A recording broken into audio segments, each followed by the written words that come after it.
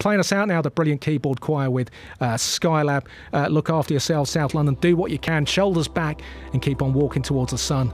I'm back next Monday, 10 pm. I'm Daniel Ruiz Tizon, and this week I have been available.